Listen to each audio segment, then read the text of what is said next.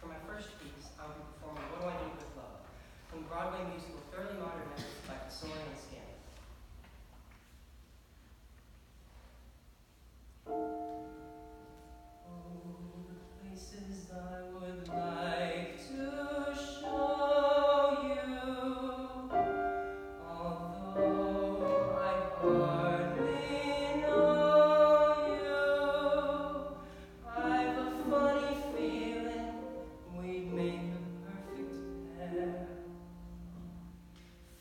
side.